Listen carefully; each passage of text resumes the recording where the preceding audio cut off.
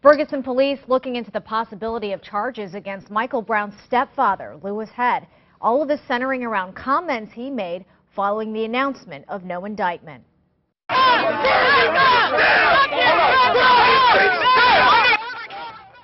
That was Louis Head. You could hear him telling the crowd to burn it down. Here's what the Browns family attorney tells CNN about the inciting riot investigation. And it's undefensible. It is uh, not appropriate in any way. We don't condone people acting on emotion, calling hmm. for people to do irresponsible things at all. And so we want his family, his mother and father message to come across louder than anybody who might be associated with them or around them. They can't control what others do. They can control what they pray for.